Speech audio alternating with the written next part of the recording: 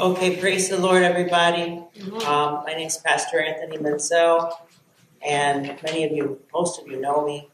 Um, I want to welcome you, start by welcoming you to the memorial service for my uncle uh, Bob, and really appreciate all of you being here today. Uh, you see the cameras, we are transmitting uh, via YouTube uh, for people who, because of different situations, they can't be here. Um, I want to, of course, recognize the O'Brien family that my uncle lived with for 30 years, who are connecting from Queens via YouTube. Um, and I just want to thank all of you for being here today. Um, and I'm going to get start off by saying this is a very hard service for me. It's one of the hardest services I've done. So I really appreciate your support. Um, I want to thank especially, and I'm, the service is in English. We usually have bilingual or translation or something, but um, the service is in English. Please, please, the phones, put them on vibrate. Um, but I do want to say one thing in Spanish for the people in my congregation who have come here today to help out. Eh, yo quiero darle las gracias a todos de que tal vez no entienden tanto inglés, que vienen a un servicio en inglés para apoyar. Okay, thank you so much. I want to thank all of um, you know the family and friends that have come, especially my sister who came from North Carolina. Um, I want to thank, of course, my Aunt Marisol. You know, and I have notes, but we come from a, a tradition in our church that we flow in the Holy Spirit. So I, I kind of want to make people understand.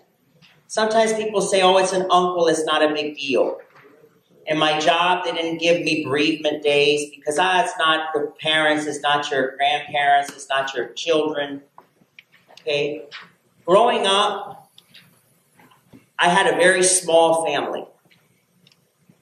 I had essentially, in addition to my parents and my sister, it was my grandmother's, my Aunt Marisol, her daughter, and my Uncle Bob. The only person who's left from the extended family is my Aunt Marisol. Okay, so yeah, I have other uncles and, and other people that I got to know as, as an adult, and I love them very much. But the people who were there with me from the time I was born were those people. So this is a very, very big loss for me. Okay. Um, but in any case, I just want to welcome everybody and thank you for your support. I ask you to please sign the guest book before you leave. And um, the video of the service, we will edit it, and you'll see why we're going to edit it. Um, our our church YouTube channel is in process of being upgraded, but um, my chemistry, because I'm a chemistry teacher, that, that YouTube channel is where we're transmitting to. Um, it, it, actually has the requirements that are needed for transmission, but later on, anybody who wants a link uh, can contact me or my family, and we can give you where the edited version of this service will be. Before I move on to an opening prayer, I do want to just iterate our COVID protocols. Um, because of Omicron, the church, our church currently has in place the following protocols. Uh, we do temp- scan for temperatures at the door. Um, if you don't want to be scanned, we have an ear thermometer. Okay, so some people don't like being scanned, that's fine. The microphones have covers. Everybody who comes to speak gets a new cover. Um, unless, of course, you're like people who live together. It's not necessary. Um, the only person who cannot have a mask on is the person in the pulpit who's speaking. Uh, anybody else, everybody else, be asked to wear masks. Um, and for mask breaks, because I know myself, it's hard to have a mask on for several hours. Um, you can go to the bathroom, right? When I went to the bathroom, I took off my mask. Also, in the basement, if there's nobody there, you can take off your mask. And even if there's people there, there's like an exit, and that exit has like a little vestibule, and you can take off your mask there if you need to. Okay? Because I'm aware that for some people that might be kind of hard to have a mask on for the whole service. So, um, I'm going to go ahead and uh, start off with an opening prayer. And I would like for everybody who can, I know some people for different health reasons may not be able to, but if you're able, if you could please stand up to show reverence for the Lord Jesus and for the memory of my uncle Bob.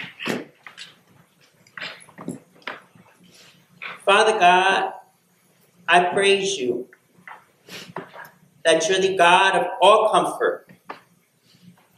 Hallelujah. According to 2 Corinthians chapter 1 verses 3 to 4. And Lord God, I praise you when people ask me, are you okay? I say no, but I know I will be because Jesus Christ is still on the throne. Amen. Hallelujah. I pray today that you give us comfort. I pray that you give all of us who are going to speak and minister strength. And I pray that you would cover everybody who participates in some way in this service, whether it be in person, whether it be through the uh, online transmission or seeing the video after. Hallelujah. I just pray, Father God, that you would cover each and every one of us with the precious blood of Jesus Christ, now and always, in spirit, soul, and body, that each and every one of us, and I pray this for us and for all of our loved ones, all of our descendants, that each and every one of us would have not only the maximum blessing in this life, but would get to go to heaven to be with you forever. I thank you and I praise you I pray that everybody will be blessed for having participated in this service, especially you, Father, the Lord Jesus Christ, and the Holy Spirit. In Jesus Christ's name I pray. Amen. Amen. Now, everybody should have a program.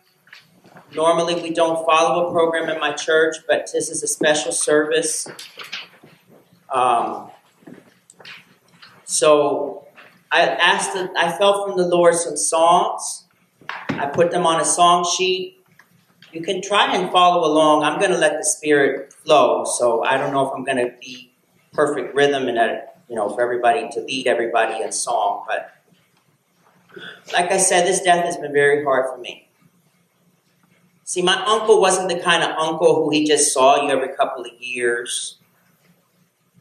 He wasn't the kind of person who you know, there's some, I, I've come to learn talking to other people that sometimes you have family members that they're very nice when they see you, but they're not really always aware of you or, or thinking about you. But my uncle, every birthday, every holiday, even when we lived in other states, my uncle never left Queens. When he came to America from Germany, he stayed in Queens for his whole life, in New York. But even when we lived in other states like Ohio and Virginia, he always gave us gifts and was in touch with us. There was always a phone call. And um, I was going to share this later on, but I just feel in my spirit to share it now. When he was in the hospital, and the cancer was basically eating away at him between, between cancer and COVID. And he wasn't talking to anybody on the phone anymore. It was my birthday. And so I called him because I wanted to talk to him, and I understood that he probably forgot it was my birthday, even though he always remembered it was my birthday. And he didn't pick up the phone. But as soon as I texted him saying, I just wanted to say hi because I always talk to you on my birthday. He immediately called.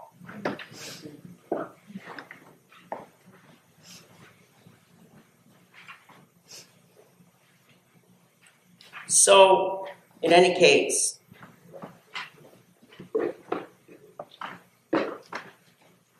there is a big hole in my heart and in my family right now. But the songs I'm going to lead us in singing all talk about how the Lord Jesus turns those holes into something beautiful. Romans chapter 8, verse 28. It says, and we know all, that all things work together for good to those who love God, to those who are called, are the called according to his purpose. And you know one thing? I know that when a Christian goes through something difficult, God will make us more able to minister to other people. Example, this week, uh, one of my students Someone who was like a second father to him got killed in a car crash. And because of what I've gone through with my loved one's passing and this recent death, right? It makes me more empathetic. Right? When you've never been through anything, you don't have the same empathy for people. So I already mentioned that God is the God of all comfort. Second Corinthians chapter 1. I do want to say before I start to sing, prayer, a lot of people make prayer very difficult. But prayer can just be defined as communication with God. And when you sing a song to the Lord, you're essentially singing a prayer. Amen. Yes. So these songs that I'm going to sing, these are prayers. So I ask you if you're able, I know with the mask is hard, amen. But if you're able to stand and sing, you can. Be led by the Spirit as, as you can. Like I said, I'm, I'm going to go off a little bit in the Spirit. Um, but take my hand, precious Lord. Especially when we're going through hard times it is important to have the Lord Jesus take our hand. And we can have him do that by drawing near to him, by praying and reading the Bible, which is God's word. John James 4 8 says, Draw near to God, and he will draw near to you. Hallelujah. So I'm going to go ahead and, and sing this song precious Lord. Take, take my hand,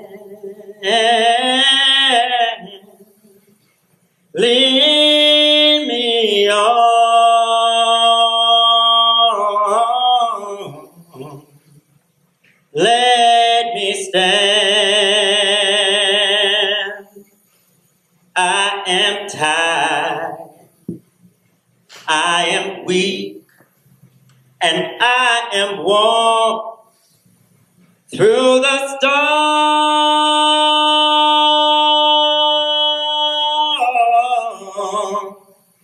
and through the night.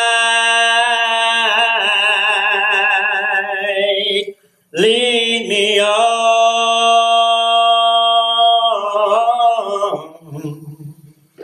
to the take my hand, precious Lord, and lead me home. On days like today, when my way grows dreary,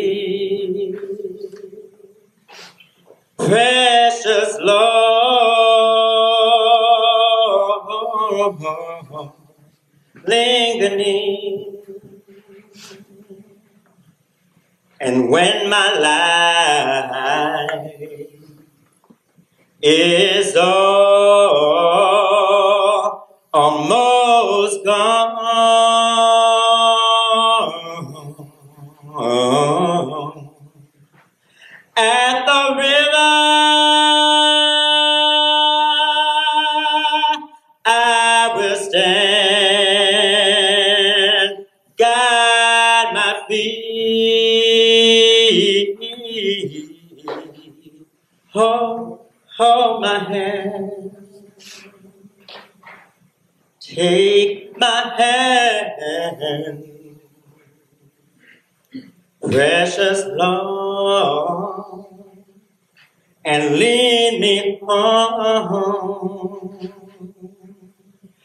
at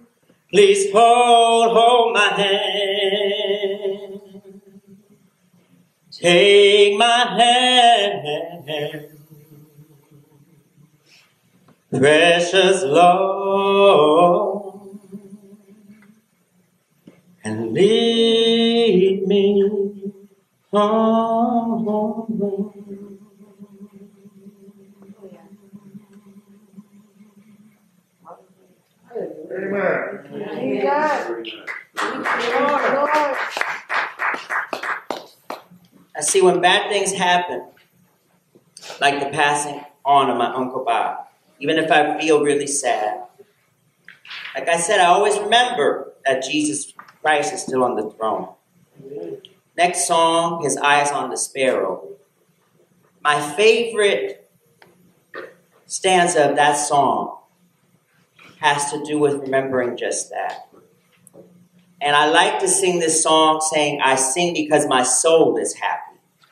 Because when you have Jesus Christ in your life, even when you're sad, your soul can still be happy. And you always have hope because Jesus Christ is still on the throne.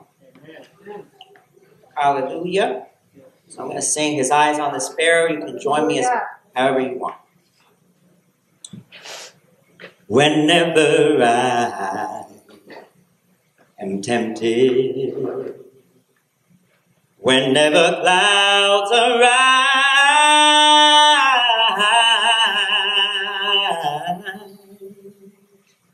when song give way to sighing, when hope within me dies. I draw the closer to God. From care he set me free. God eyes on and I know he watches me. Got eyes on the sparrow, and I know that Jesus is watching over you and me. Praise you, Lord, I sing because my soul is happy. Thank you, Lord, I sing because my soul is free.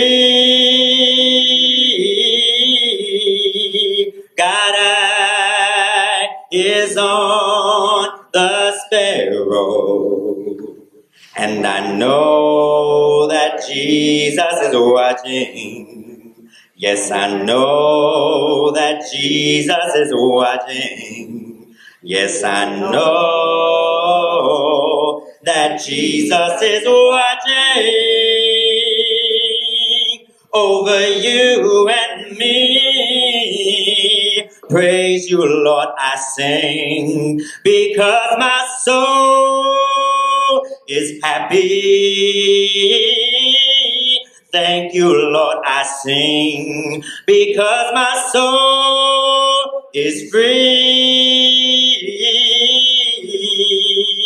Hallelujah. God eye is on the sparrow, and I know that Jesus is watching.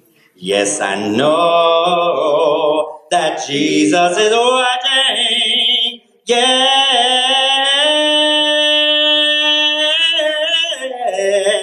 I know that Jesus is watching over you and me.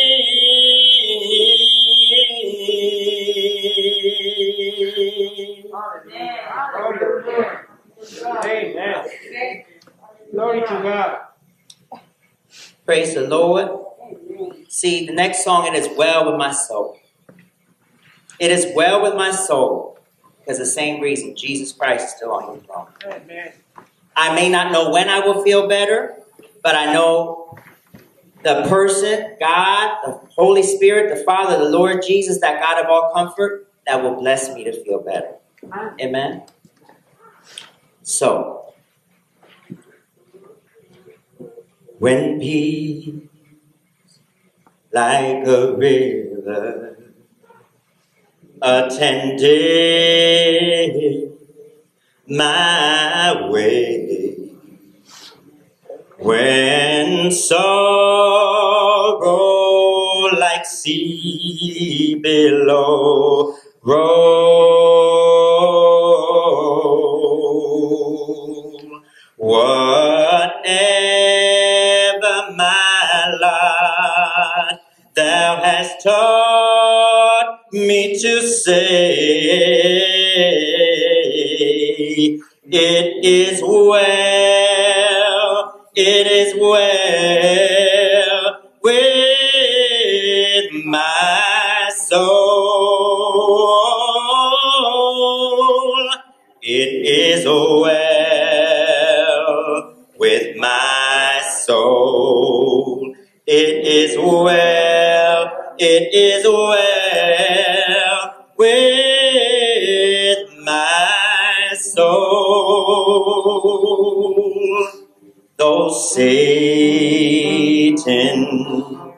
should buffet, though trial should come, let this blessed assurance control that Christ has regarded my estate. It is well, it is well with my soul. It is well with my soul. It is well, it is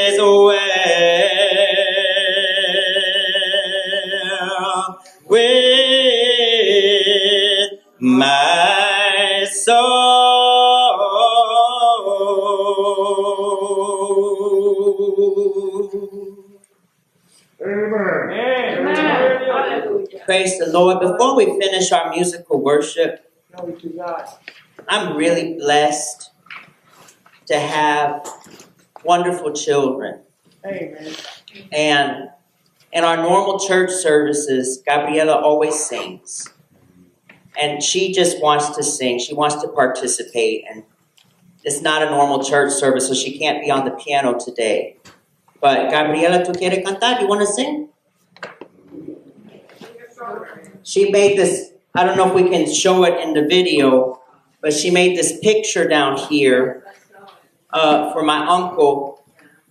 And she was even praying for the service uh, the other day. I think it was yesterday because I, I took off work to work on the service.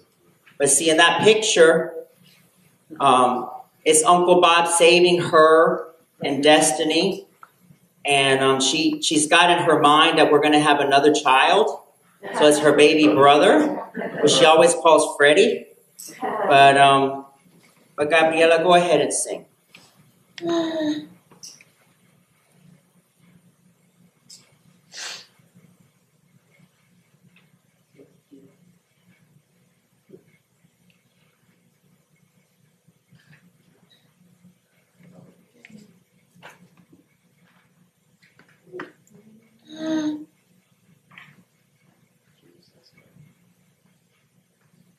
This little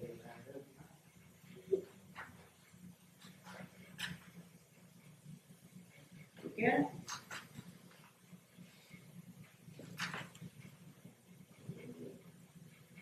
This little light of mine, I'm gonna let it shine, let it shine, let it shine, let it shine.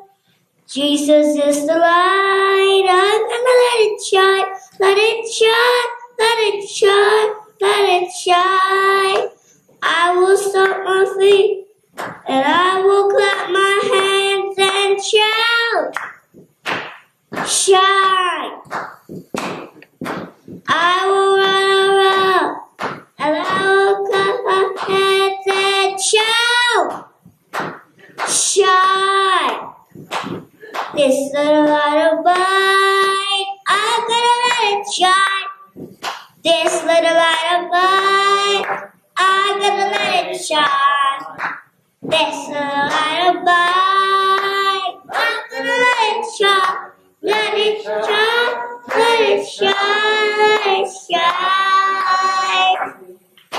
Jesus is the light, I'm gonna let it shine. Jesus is the light. I'm gonna let it shine. Jesus is the light. I'm gonna let it shine. Let it shine. Let it shine. Let it shine. I will my feet and I will clap my hands and shout. Shine. I will wow, and I will clap my hands and shout, shout. I will clap my hands and I will my feet and shout,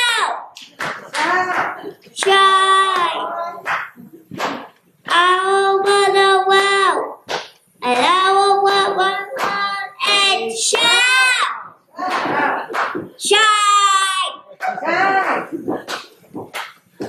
This little light of mine, I'm gonna shine. Jesus is the light.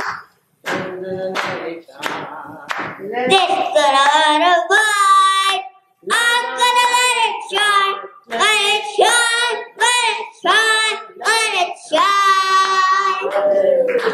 Jesus is the light. I'm gonna let it shine. This is the light. I'm gonna let it shine. This is the light. I'm gonna let it shine. Let it shine. Let it shine. It shine. This little light of mine. Jesus is the light. I'm let it shine. Let it shine. Let it shine. Let it shine. Light, right? That's what's going to get us through hard times. Amen? The next song I'm going to sing is in honor of my dad, who has lost his brother. And it is one of his favorite Christian songs.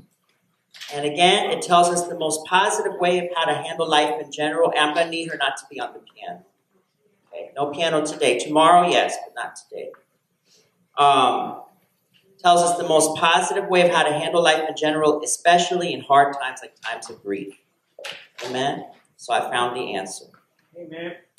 I found the answer when I learned to pray with faith to guide me. I found my way. The sun is shining over me each day. I found the answer when I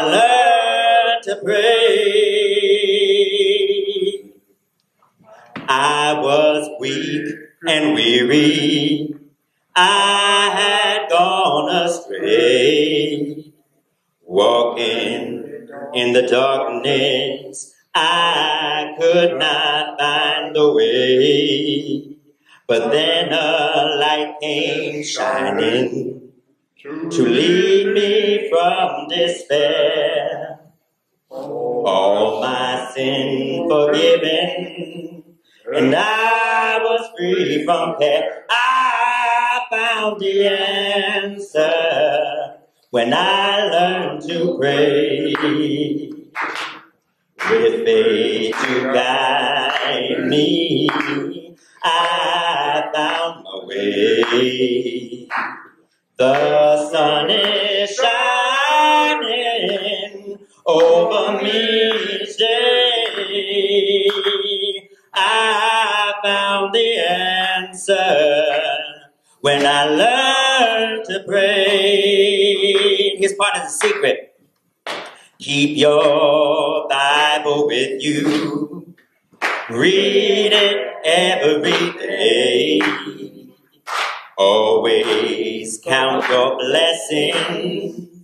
Always stop and pray. Learn to keep on believing, Hallelujah. and Jesus will see you through.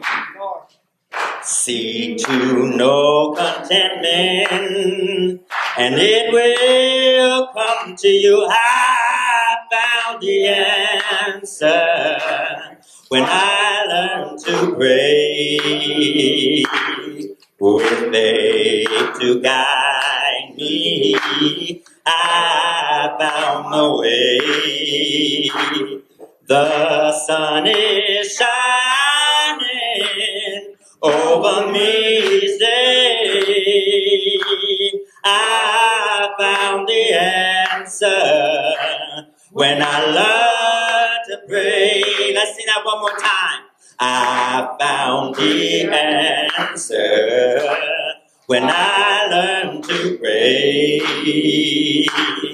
with faith to guide me. I found my way.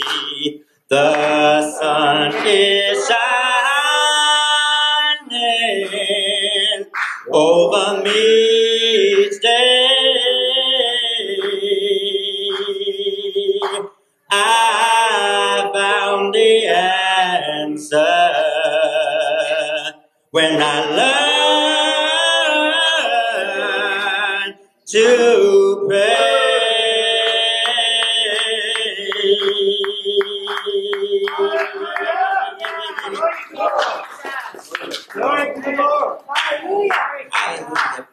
Lord.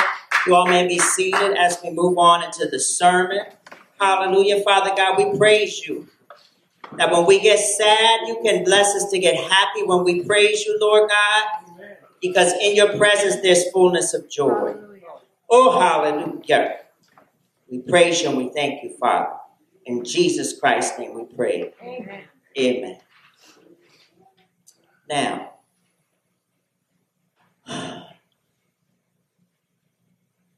my sermon and then my eulogy. Eulogy, for those of you who may not know exactly what it means, and I know growing up I didn't know what it meant. But if you know another language like Spanish, elogio, when you, cuando uno elogia a una persona, when you, that means you are complimenting them, you're speaking well of them. Okay, so saying kind words about them. But both my sermon and my eulogy have the same topic, and that's the legacy of my Uncle Bob. Because he, he left me and my family a legacy. And the sermon, I'm going to mention the Bible in both parts, but in the sermon, I want to talk about his spiritual legacy. Now, my Uncle Bob always celebrated Christian holidays like Christmas and Easter. But when he started battling cancer about three and a half years ago, he became a man of prayer. He not only received prayer all the time, but he also asked me and the rest of the family to pray for other people in addition to him, including the medical personnel involved in his cancer treatment. I was so blessed. The day before he died, when my mother and father and I we went to Queens, and you know with COVID you can't go to the hospital, but when the person's terminal, sometimes they make an exception. So we waited outside the hospital for an hour in the cold. Then we waited an hour outside the unit, and we could only see him through the window because it was a COVID room, and New York State regulation does not allow you to go into a COVID room at this point in time. But one of the, the people from the doctor's office, one of the medical personnel who had been involved in his cancer treatment, she said he was such a nice person to deal with. And I think that speaks volumes. Here you're going through something painful.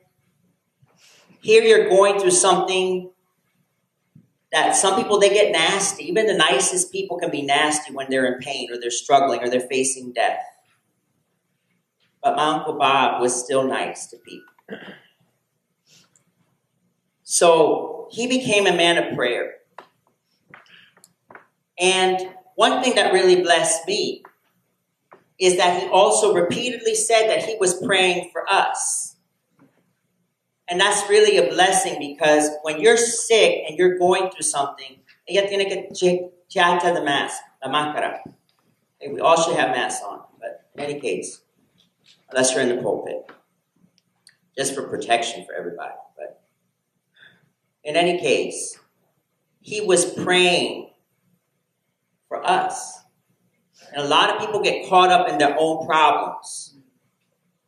And they're not praying for other people. They just want prayer for themselves. But that wasn't my Uncle Bob. When he first got sick, I prayed the prayer of salvation with him. Because before he got sick, he wasn't that serious about his faith. The prayer of salvation is a prayer in which a person confesses his or her faith in Christ. The prayer of salvation I prayed with my Uncle Bob is similar to the prayer on the back of the prayer card. Everybody have a prayer card? Okay. So I felt the Spirit lead me to be very intentional about the prayer that's put back here. Some people always just put Psalm 23 or Psalm 91 or, you know, I'm going to miss you or blah, blah, blah. No. Spiritual legacy. Even in death. And we know that when you believe in Jesus Christ and you try and follow him, death is just a transition. It's just a change of address. Second Corinthians chapter 5, it tells us when you're absent from the body, you're present with the Lord. First Thessalonians 5.23 says that the human being, just like God, is one God in three persons. God the Father, God the Son, Jesus Christ, and God the Holy Spirit. Reverend Luis, my dad wants the lights on. Um, the human being is made of three parts, which makes sense because we're made in the image of God. So it's spirit, soul, and body. So these cremains right here, and some people say, oh, Christians don't get cremated. Well, guess what? The Christians that died 2,000 years ago, that's all they are now. Right? Or if you died at sea and you're a Christian and they threw you over, that's it. That's all you are. So God in his miracle working power, when he makes your glorified body from your remains on this earth, he's going to know this piece of dust is over here and this piece of dust is over here. I'm going to bring it all together and I'm going to give this glorified body, put it together. Amen. Okay. So this right here is just a shell.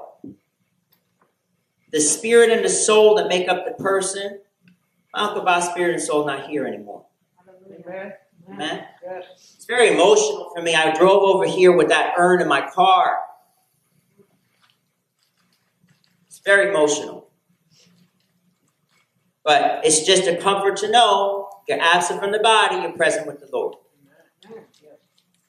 So I say all of this because I'm going to give everybody the opportunity today to honor the Lord Jesus and the memory of my Uncle Bob by saying that prayer with me in a little bit. But there's some scriptures on here. That's why this is the sermon, and then I'm going to get into my eulogy later.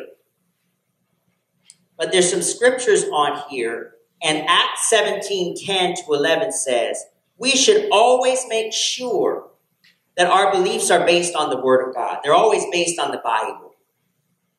It's not based because, oh, Pastor Anthony is so nice to me, or he seems trustworthy, he doesn't make any money off the ministry. So he must be saying the right thing. No. Acts 17:10 says, Then the brethren immediately sent Paul and Silas away by night to Berea. When they arrived, they went into the synagogue of the Jews. These were more fair-minded than those in Thessalonica, in that they received the word with all readiness and searched the scriptures daily to find out whether these things were so. So we're going to make sure that what's on this card is true. So if we go to Romans 10, 9, and 10, as mentioned on the card, I'm going to start from verse 8. And it says here, But what does it say? The word is near you, in your mouth and in your heart. That is the word of faith which we preach. So what this is the basis of Christian preaching right here, this passage. That's why my church, I repeat it over and over again. Amen. And every Sunday we're transmitting live to hundreds of people as well. So I don't know who's watching it. But in any case, this is the, the, the word on which our Christian preaching is based. That if you confess with your mouth the Lord Jesus, hallelujah. I feel the presence of the Spirit of God. Those of you who are not into charismatic Pentecostal circles, sometimes the Spirit touch you and you start to shout. Amen. You might even start speaking in, in tongues. But in any case, I felt the presence of the Spirit of God. That if you confess with your mouth the Lord Jesus and believe in your heart that God has raised him from the dead, you will be saved. For with the heart one believes unto righteousness, and with the mouth confession is made unto salvation. It's not something just that you think, you have to actually say it. And that's why I'm going to ask everybody a little bit to repeat with me when we say the prayer of salvation. I want to say this to you all, whether you're here or online, and share with you. I'm trained as a scientist as well as a minister. In fact, my secular job with which I support my family is that of a high school science teacher. And as a scientist, one way that I look at my faith in Christ is based on facts. Right? Some people think that, oh, when you become religious, you have to disconnect your, your intellect. And as a scientist and uh, a minister, I don't believe that. It's a historical fact that Jesus of Nazareth existed. It's a historical fact that he was crucified. Just as much as it was a historical fact that George Washington was the first president of the United States. So if you are not, if you're not going to believe that Jesus of Nazareth walked this earth, then don't believe that George Washington was the first president of the United States. So it's also a fact that when Jesus of Nazareth was crucified, almost all of his followers abandoned him out of fear. In science, one, one definition of a theory in science is the best explanation of the facts. And for me, the fact that many of those same followers who abandoned the Lord Jesus were soon risking their lives after the crucifixion and saying that he had been resurrected by God the Father from the dead is that Jesus Christ was resurrected from the dead. No other religious leader I know of has been resurrected from the dead. Okay? You know, and that resurrection shows me, it's proof that Jesus Christ is Lord. right? And based on the scriptures, and it's not in my notes, but I'll go there really quickly. Matthew 28, I believe it is, or Matthew, is it 18?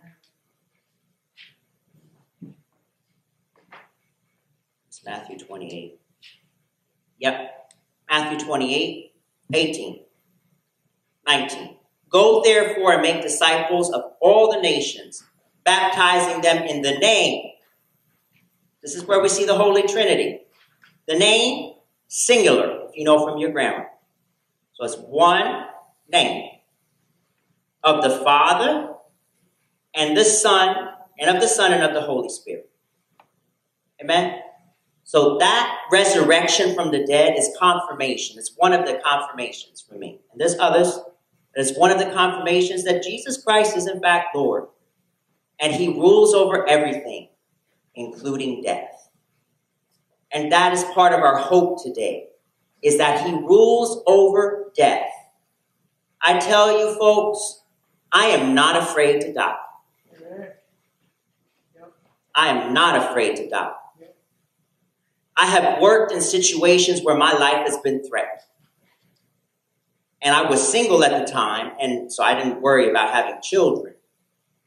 But when the, I was threatened, I would say to them, Go ahead and kill me, send me to heaven early. I'm not afraid. That's when they looked at me and said, You're crazier than I am. Let me, let me leave you alone. Right? But I'm afraid of two things probably physical pain and leaving my closest loved ones with the pain of a loss. I never want my parents to bury a child or a grandchild. That should not be. I don't want to leave my children without a father when they're too young. Those are the two things I just don't want to do. But me dying, going to be with Jesus Christ, that's a promotion. Amen. Yes. Amen? Yes. And I, I I'm sad about my Uncle Bob because I'm going to miss him. And I don't know exactly when I'm going to see him again. When a loved one dies in Christ, it's not so much that you're you're you're sad like you're never going to see them again, but it's like you just miss them. I'm going to miss those phone calls. I, I I'm going to miss those outings. You know, we used to go once a year to, before he got cancer, we used to go to uh, Manhattan, and we used to go to,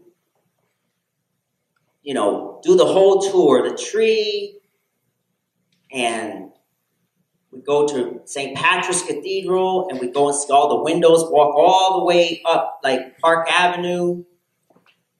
And my uncle was such an artist. You're going to see some of his artwork. He was just so talented, and he was brilliant. Then we would go to a museum. A lot of times it'd be the Museum of Modern Art, not Modern Art, Museum, Metropolitan Museum. We did go to the Museum of Natural History a couple of times. But he was just so smart. And I just want to be next to him and absorb him, absorb what he would have to say, all his commentaries.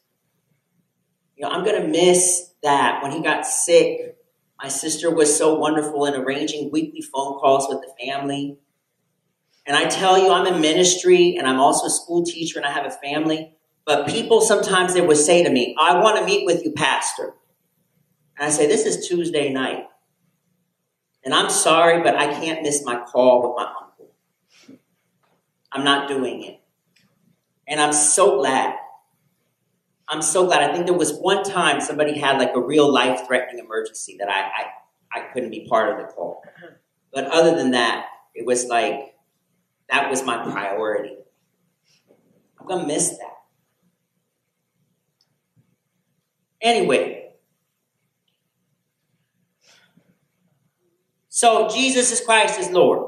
Amen. Next passage on the prayer card is Acts 17:30. And it says, Truly these times of ignorance God overlooked, but now commands all men everywhere to repent. See, folks, only believing that God the Father, the Son Jesus Christ, and the Holy Spirit exist does not save us. Just believing does not save you. James chapter 2, verse 18 says, But some will say you have faith and I have works. Show me your faith without your works, and I will show you my faith by my works. You believe that there is one God. You do well. Even the demons believe. Hallelujah. And tremble. So it's not just saying, well, I believe in God. Are you trying to follow Jesus Christ? So, good thing is, repenting is just basically going away from what's bad and going towards what's good. We'll keep it simple. Amen? We're not going to be perfect. Yes. There's only two things God wants us to be perfect in. One is repenting, and the other is loving other people. 1 John 1 9 and 10 says, If we confess our sins, he is faithful and just to forgive us our sins and to cleanse us from all unrighteousness. And this is the good news. If we say that we have not sinned, we make him a liar, and his word is not in us. Yes. So if you try and pretend like you're perfect, you're making God a liar. Right? We're always going to have something wrong with our thoughts, our feelings. Even if what you say and do is, is looks perfect, something not going to be right here or here. Okay. Matthew 5, 44, I'm going to throw this in there because that's really important about following Christ. But I say to you, love your enemies. Bless those who curse you. Do good to those who hate you, and pray for those who spitefully use you and persecute you, that you may be sons of your Father in heaven. For he makes his sun rise on the evil and on the good, and sends rain on the just and on the unjust. For if you love those who love you, what reward have you? Do not even the tax collectors do the same? And if you greet your brethren only, what do you more? What do you do more than others? Do not even the tax collectors do so? Therefore, you shall be perfect just as your Father in heaven is perfect. This is a key I want to leave you all with. Forgiveness and trust are two different things. There will be people who hurt you and they never apologize and they're happy that they hurt you. Okay? I've been there. I'm not going to get into details because I could go on and on and on. They're going to be happy that they hurt you. But you know what? You don't forgive people for them. You forgive people for your own well being. You don't want to carry that with you, that, that load. And so, how do we act with that person who's hurt us and they haven't said they're sorry? Still be polite. Help them in any way you can. Pray for them as God leads. Even if the focus of our prayers and most of our energy goes toward helping our loved ones and friends and our other brothers and sisters in Christ. Amen? But if God puts on your heart, no, pray for that person. You pray for them. Amen? And have the attitude that you only want them to be judged if they refuse to stop following evil and follow good. Vengeance is mine, Romans 12 19 says the Lord. I will repay. Amen? You don't have to worry about it. You do whatever you need to do, you know, to, to try and have something bad not happen again. And then, like, if it doesn't work out, let God do it. Him take care of it. So that's very important. And it, it helps us to be able to forgive people. Amen? Praise the Lord. Next passage on the prayer card Matthew 24 13. But he who endures to the end shall be saved. Once you say this prayer of salvation, you have to keep following the Lord Jesus in order to be right with God and go to heaven. It's not just I said a prayer one day and I'm fine, I can live any old kind of way I want. That's not how being a Christian works. I think probably one of the things I like most, and this is not to say I'm the best thing since sliced bread, because if it weren't for the Lord Jesus helping me, I would have never been able to do what I'm about to say. one of the things I like most about my testimony as a Christian is that I've been a Christian since 1991, 30 years, Amen. and it's not one of those testimonies where the person says, Well, I walked with Christ, I fell away, I came back, I walked back, I came back, back and forth, yo yo, up and down. No. I've had my struggles, I've had my hills and valleys, but I stayed with Jesus. Amen. Yes. And that's how it's supposed to be. Amen. John 16, 23 and 24 is mentioned on this prayer card. It says, And in that day you will ask me nothing. This is Jesus Christ at the Last Supper. Most assuredly I say to you, whatever you ask the Father in my name, he will give you. Until now you have asked nothing in my name. Ask and you will receive that your joy may be full. As we mentioned, prayer can be defined as communication with God. So the biblical form of asking when you're when you're engaged in prayer. You can praise the Lord Jesus, you can praise the Holy Spirit, you can praise the Father. But when you're asking, you're supposed to ask the Father in Jesus Christ's name. And that's why that's that's why we have I ask these things in Jesus Christ's name.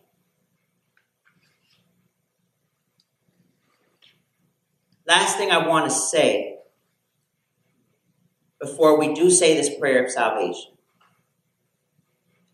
Just like I said, you know, Muhammad hasn't resurrected from the dead, Buddha hasn't resurrected from the dead, none of these religious leaders, none of these people resurrected from the dead. Okay? John 14, 6 says, Jesus said to him, I am the way, the truth, and the life. No one comes to the Father except through me. The only way to initiate a connection with God, with the Holy Trinity, is through belief in Jesus Christ. Amen. So, what I would like to do at this point in the service is to honor my Uncle Bob. Amen? By affirming or reaffirming our faith in Jesus Christ. Amen. Okay? So I'm just going to read this prayer. And what's great about this? Guess what? If in the future you want to share with somebody else how to receive the Lord, you have this prayer card. Right? If God puts on your heart, no, you need to pray with somebody to receive the Lord. Guess what? You have a little short prayer you can pray with them Amen. in your hand. And that's a gift. That's a gift I feel.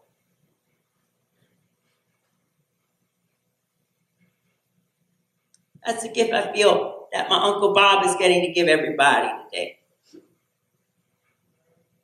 Okay, so if y'all could could repeat after me from the heart, those of you who feel led to do so, because nobody's going to force anybody to do anything, obviously, and it has to be from the heart, or it doesn't mean anything, and you have to keep following Christ after you say this prayer, or it doesn't mean anything. Amen.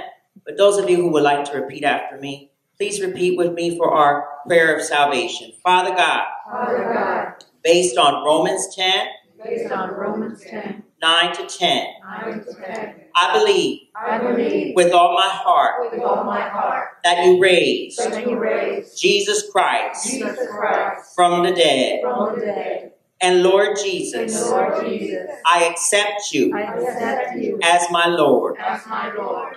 Father, Father, based on Acts based on Acts 1730, 1730, I ask you I ask you to forgive me to forgive me for my for mistakes. my mistakes. And based on Matthew, you to bless me, to bless me, to follow you forever, to follow you forever, so that I can always be with you. so I can always be with you. Based on John Based on John 16, 16, 23 to 24. 23 to 24. I ask these things ask these things in Jesus Christ's name. in Jesus Christ's name.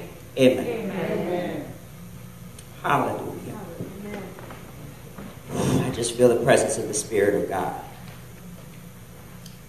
Now, if anybody would like a free Bible, we're running low on English Bibles, but we do have, we will order them. Um, this church, Abundant Love Christian Church, we're not perfect love. Being perfect is too much stress for me. But we do try to be abundant love. Amen. So if you do need a free Bible, uh, feel free to let me know after service. Um, those of you who are watching YouTube Live or a video of the service, you can also text us at 201 572 6598. That's 201 572 6598. Also, prayer requests. And I'm going to talk about a prayer. I'm going to give you all a copy of it. But it was a prayer that was inspired by inspired by what inspired by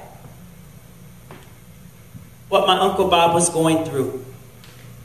And um, it's a prayer for healing for the spirit, soul, and body. So, um, you know, we're here to pray for people. We're here to to be nice to people and, and try and show the love of Jesus Christ. So many people have been treated badly by different religious organizations, and that's really not not what we're all about. Amen. One thing about my Uncle Bob, he wasn't perfect, but he was real.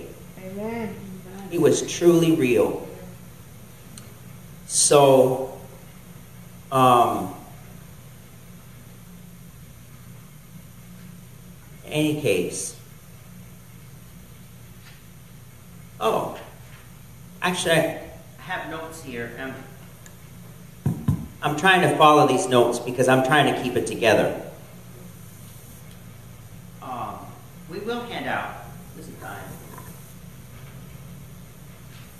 This is Gabriella's microphone, and I, if she's sick with something, I'm going to be sick with it too, so I don't care. Um, but, uh, um, Brother Franklin, if you could hand this out to everybody before we go on to something else. Just wanted to hand this out. This is a prayer I was talking to you about. It's called God's Fast Acting Vitamins. Hallelujah. And it's a prayer that I prayed for my Uncle Bob during the last weeks of his life. And I prayed similar prayers for him throughout his illness. The Holy Spirit used his illness to create a sense of urgency in me to formalize this prayer. And it's a prayer for spiritual, emotional, and physical well being. You know, especially with this pandemic. You know, maybe some of you think, oh, this whole mask thing is, is extra or whatever. This last Omicron round of COVID, we had so many people in our church battling COVID, myself included. And one of the testimonies of this church is up to now that nobody has been able to say, I came to church and I got COVID because I came to church. That's why we've been very strict. We were a little bit looser, saying you could sit in the seats and not, not have the mask until you leave, go, you know, if you have to go up and down the aisle, you put your mask on, whatever. But that's, you know, that's why we got to got strict for a little bit. We'll see what as the numbers go down when that changes and everything like that. But for right now, that's why we're there. But um, with this pandemic, this Bible-based prayer has been a blessing to me, and I pray that it will be a blessing to you.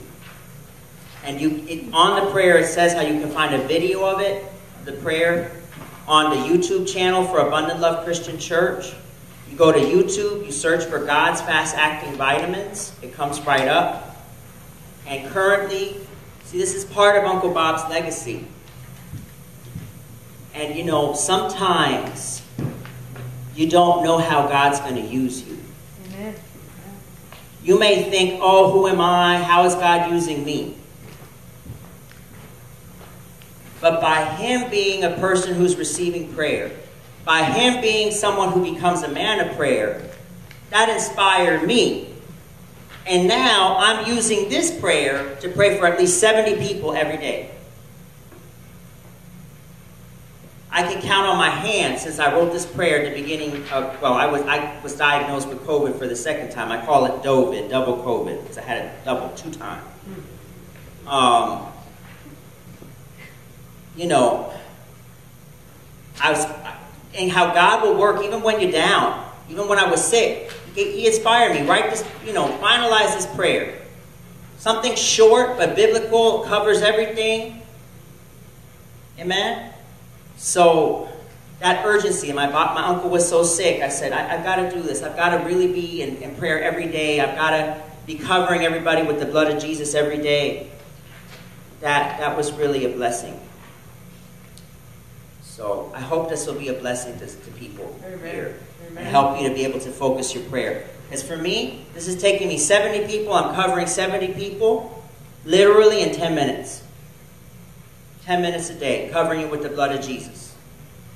Spirit, soul, and body. Somebody is severely depressed, because I have people on the list like that. They don't want to leave their room. I got people who are suicidal. I got people who are battling cancer. I got people who are battling all kinds of different things. Now, um, before I go on to my eulogy, this is where I thought we were going and weren't. We're going to watch a video with photos of my uncle's life and artwork. Music has not been included due to the solemn nature of this service. If you are participating via YouTube Live, I don't know if we can shift the camera that way. I hope you can see this video. If you can't, you can come back into the service in 27 minutes and 32 seconds. Amen? I know exactly how long this video is. And that's how long the video lasts. What I'm going to do is um, eventually edit this service. So this part will probably be edited out. If for family and close friends, we can probably send you a copy of this video for free.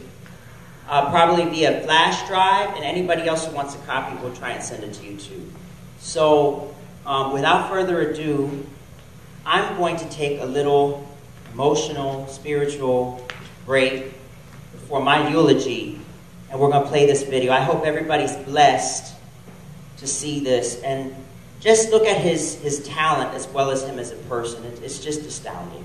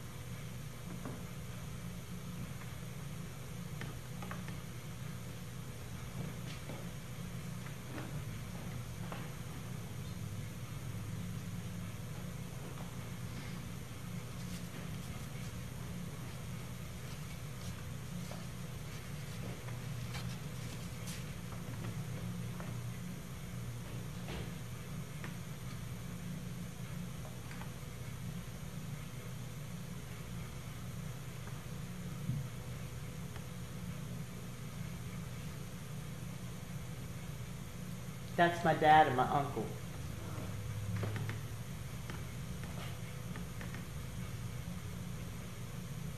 The little one's my uncle.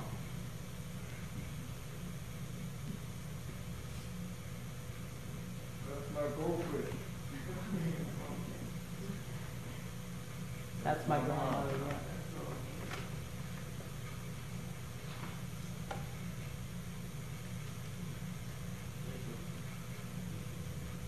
Winter photo.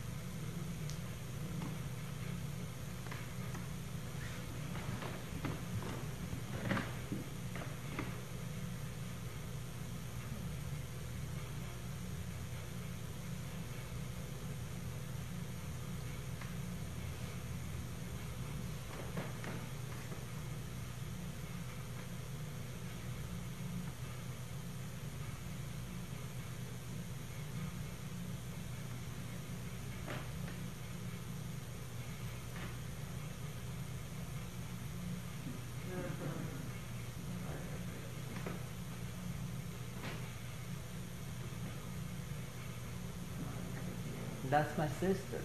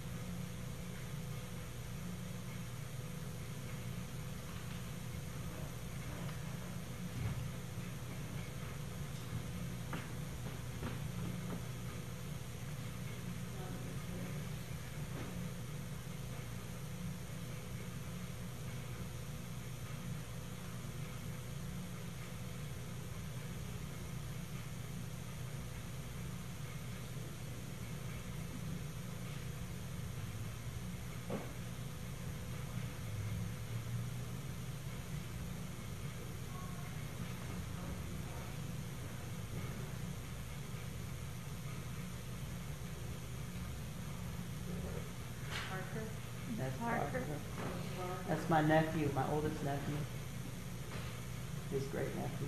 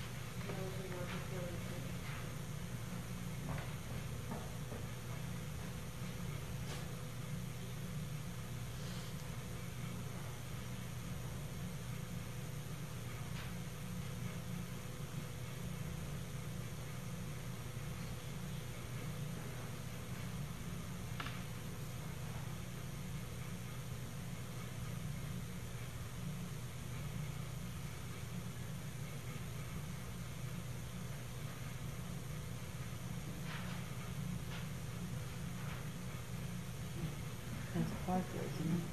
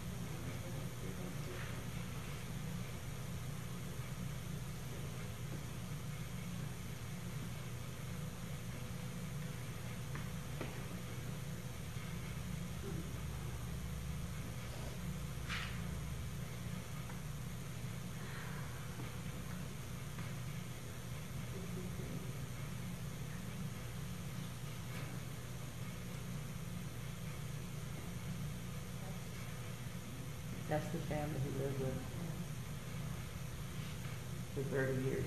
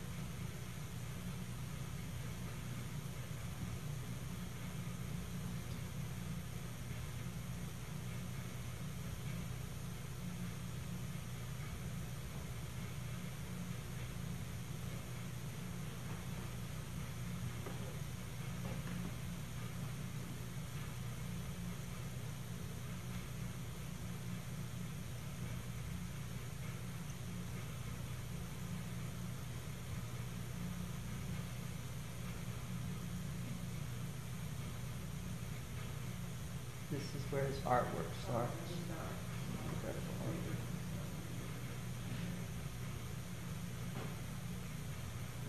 All of these are things he made by hand.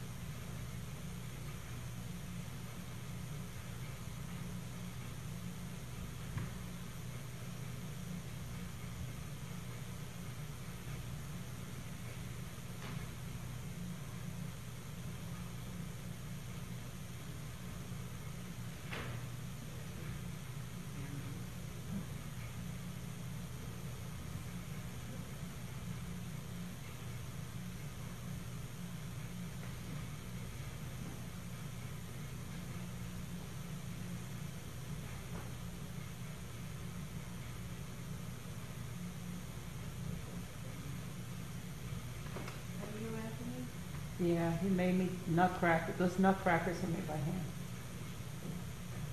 One is a minister one is a teacher.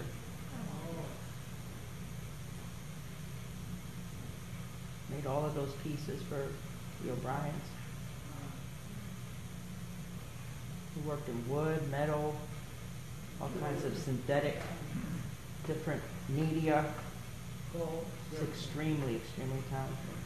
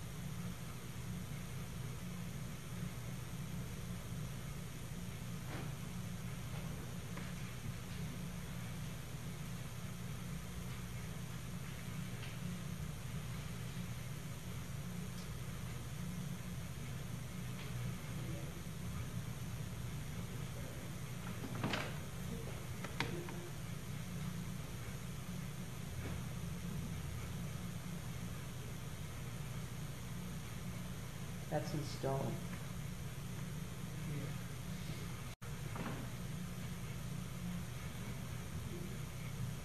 They said that's a self-portrait. He liked to decorate the windows and where he lived.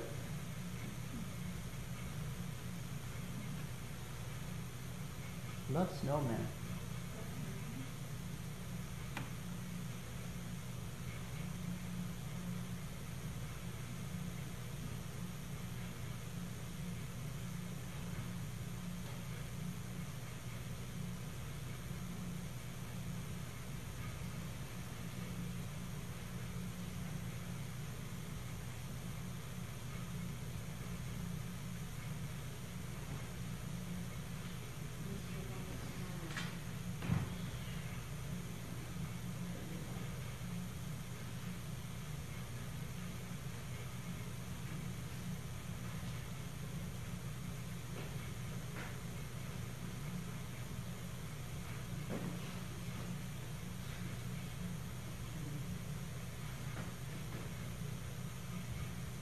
His drawings and paintings.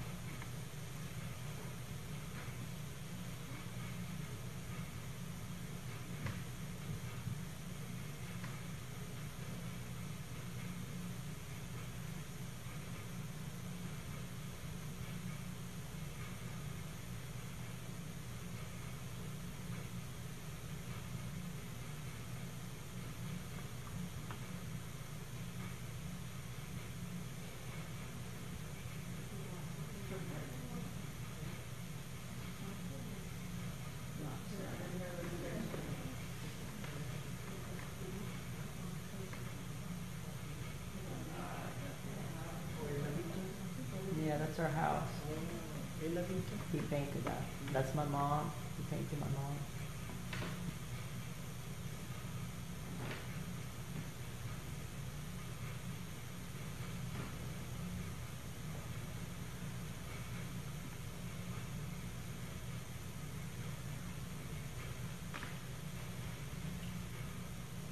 That one he made for me. That's my favorite.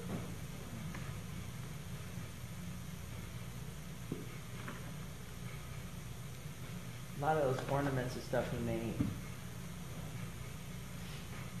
He always liked to decorate the Christmas tree for different holidays.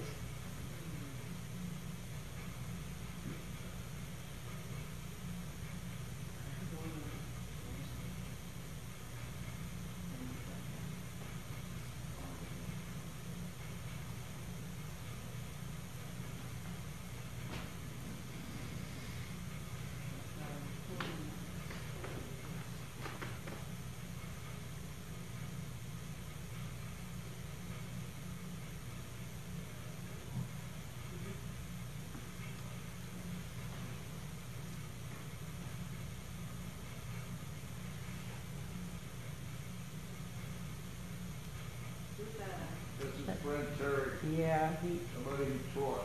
He was- He was an art teacher as well. and he had a, a gallery talking about his gallery that he had in Queens for many years. Won awards for his art.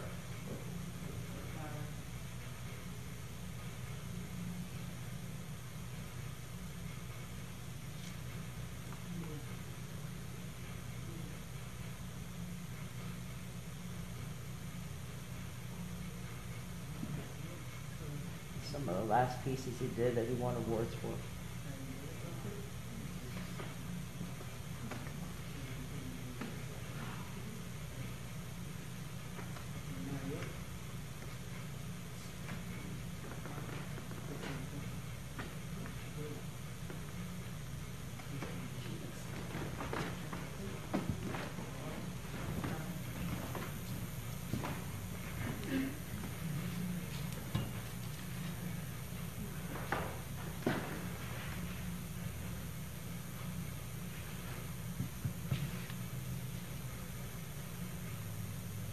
Okay, I hope you enjoyed that video.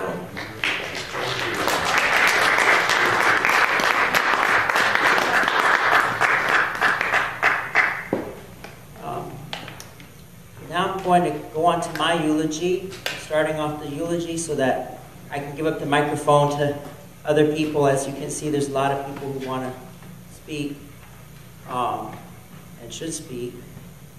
And I do also want to acknowledge, before I forget, um, my Aunt Margaret in Germany, who I believe will be watching this either as a video or as, if she's not on YouTube Live right now, and um, my Uncle John, who is in Oregon. If I've forgotten anybody, please charge it to my head and not my heart. Um, but my Uncle Bob's legacy, there's three things I want to mention his amazing artistic talent. You could see that. And part of his legacy was to leave me with a greater appreciation of art, which has enriched my life. And what every piece of art that he created, whether I get to keep it or just see it, is a treasure to me. He was primarily a carver of wooden miniatures, but he worked in so many different media, like you could see, even stone. He painted and painted on different media, including wood as well as canvas. He made things out of even synthetic materials, even including styrofoam. He drew on wood, on paper, and this did not include his jewelry, but he also made jewelry, including out of precious metals. You know, mastered aspects of interior design is shown by the window that he would decorate the Christmas tree. And I'm just astounded by the range of media he mastered. Everything he made was intricate and beautiful. You see all of the like the fur on the bears and the, the skin on the fish, and it's just it's just amazing. Um,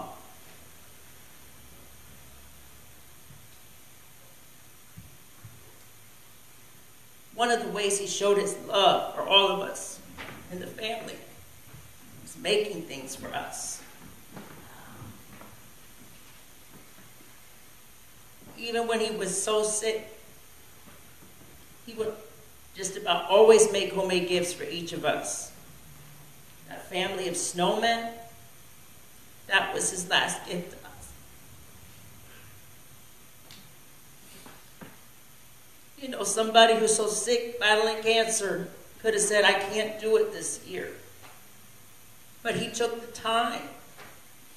It's not going to a store, buying you a shirt, or giving you a gift certificate. It's nice to be thought of that way, of course, but he did something special. And he took the time.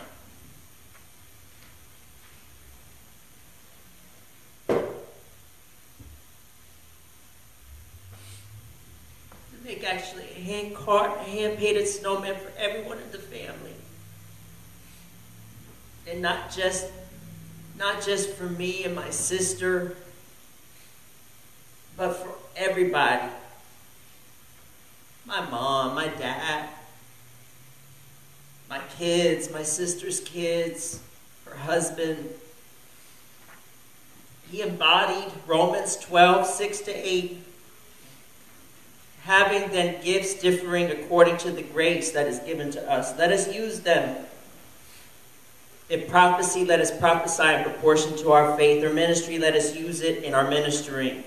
He who teaches in teaching, who exhorts in exhortation, he who gives with liberality.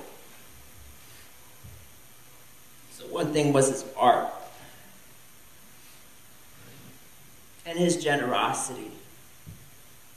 Because with Uncle Bob, it was about the time. He gave you his time. Another legacy he left me, I already mentioned, was his intellectual brilliance. Talked about how we would meet in Manhattan before he got sick. And he spoke like someone who had a doctorate degree.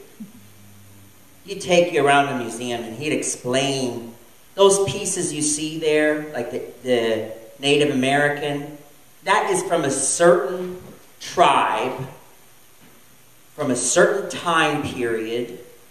The night is from a certain time period. It's not just a little person that he just configured in his mind. So, even though he only had an associate's degree, he spoke like someone who had a doctorate. And his brilliant mind reminds me of the passage in Acts chapter 4, verse 13. Now, when they saw the boldness of Peter and John and perceived they were uneducated and untrained men, they marveled. And they realized they had been with Jesus. Amen. So the religious leaders are looking at the apostles and realizing, I'm not going to read the rest of the passage, but they realize, wow, they have God's anointing on them. And I tell you, just as with the apostles, human titles can supplement God's empowerment or anointing, but no degree can be the basis of God given talents. A lot of people have degrees in art, couldn't strike a candle to uh, what my uncle could do. And so, one thing that he taught me is we should be open to receive from everyone because God created all of us in the womb and gave us gifts when he created us. Psalm 139, 13 to 14. For you form my inward parts. You cover me in my mother's womb. I will praise you, for I am fearfully and wonderfully made. Marvelous are your works, and that my soul knows very well. That's why my Uncle Bob did not need an art degree to be such an incredible artist. God created him with incredible artistic talent and intelligence. The last thing I want to say in my eulogy is that the most important legacy my Uncle Bob left me was steadfast, constant love. 1 Corinthians chapter 13, verse 8. The first sentence of that verse, I can go on with the rest of it, but I don't need to. Love never fails. Amen. You know, my, my Uncle Bob sometimes had a rough exterior with other people. I'm not, sometimes people die and people try and pretend, oh, this person was an angel. I'm not one of those people. But I tell you, my sister, Harold Jr., the son of my Uncle Bob's dear friends, Harold and Lori, that you saw in the video, with whom he lived for 30 years, and I were like his children in many ways.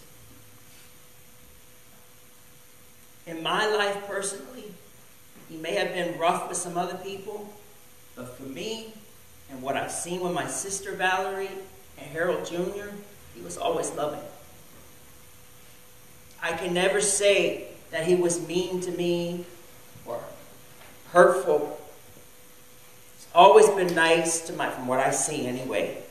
My brother-in-law Gerd, my wife Maria, always nice. He's always loving to his great nephews Parker and Hunter, my sister's sons, and his great nieces Destiny and Gabriela were my daughters. So that love, that's a legacy to me. And it's something I want to take away and apply. You know, because sometimes just just being nice to people. They say in John 13, I think it's 34 to 35, they're going to know we're Christians by our love. You can know a lot of scriptures, folks. But if you don't live them, doesn't mean a hill of beans.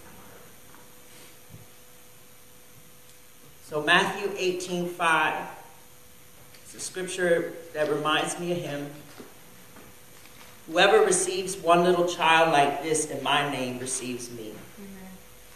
You know, I remember Uncle Bob sometimes telling stories of some children who took art classes at the Alliance of Queens Artists that annoyed him. But he never acted like that with me. And I never saw him or heard of him acting like that with the rest of the younger people in the family. He challenged us and shared his incredibly vast knowledge with us, but he was always glad to see us and spend time with us. And that is an example of how we should treat those who are younger than us, including the children in our lives. His love of animals reminds me of his love of children. It was constant, consistent, and tender, and it was reflective of how God left us the earth to take care of it instead of to abuse it. Genesis 2:15 Then the Lord took the man and put him in the garden of Eden to tend and keep it. So, I'm going to pray at the end of the service as a gift to everybody that we could even be better at loving other people, especially the vulnerable like children and animals, like my Uncle Bob was. Amen. I'm going to finish this eulogy, then you can listen to some other people.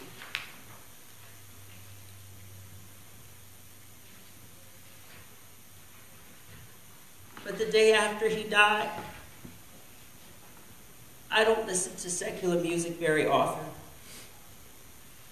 The day after he died, I felt in my spirit this song, and I began to listen to it over and over again. I changed the lyrics a little bit to match what I've been going through. Of course, I love how the second stanza mentions Jesus. So it's not totally secular. But this this really hits home for me. Um, see, the chorus says, I always thought I'd see you again. And I know that I, God willing, I see him in heaven, but I always thought I'd see him again down here on earth. I always had that sense I was going to see him again. I can get to. And maybe it's cliche, but folks, I'm so grateful. I'm so grateful I took time to spend time with him while he was here. Because you don't give flowers to people when they're dead. Give the flowers while they're here. Make them feel you love them while, while they're here. So there's that. Of course, I love the second stanza with Jesus. And the third stanza mentions the cold wind blowing. And you know what? That reminds me of that day my parents and I stood outside a hospital in Queens for an hour. Because we weren't going to leave without seeing.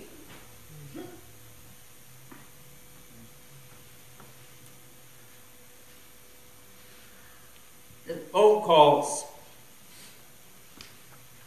you know, all throughout my life. And of course, now, I'm just trying to pick up the pieces. And of course, missing him. So, I'm going to do this rendition of this song the best I can. And then we're going to move on to the additional eulogies.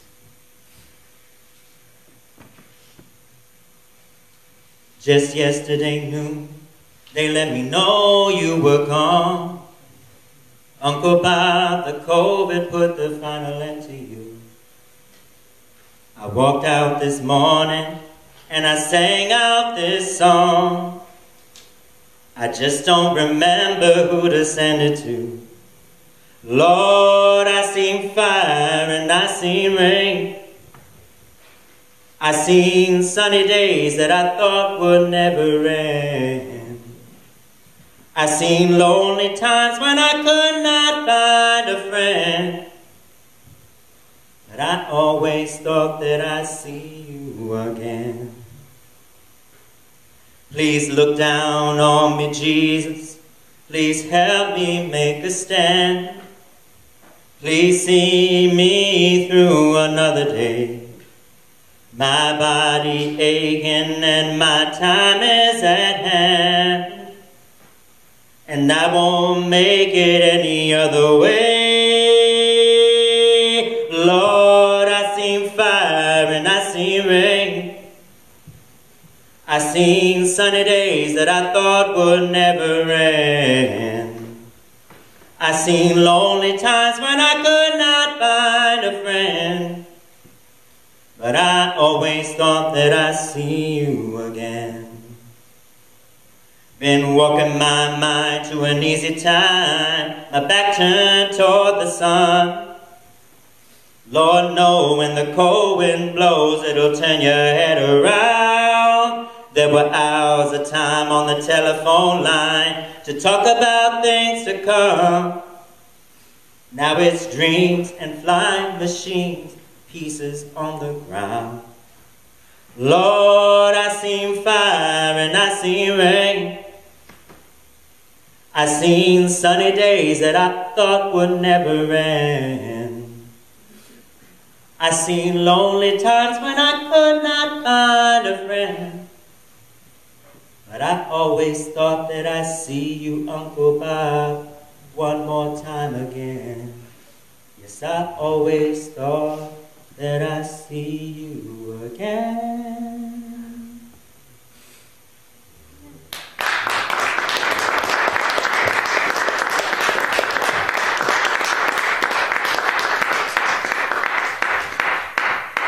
So, praise the Lord.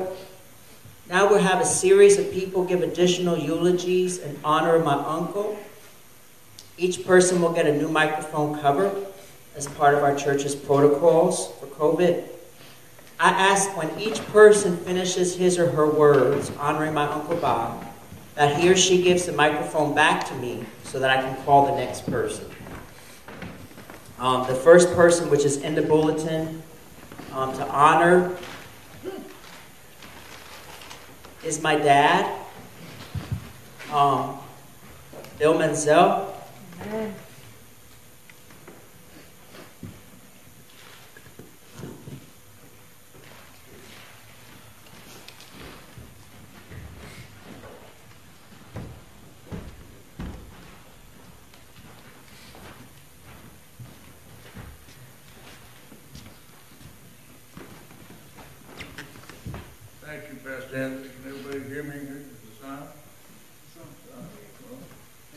close to your face. Like this?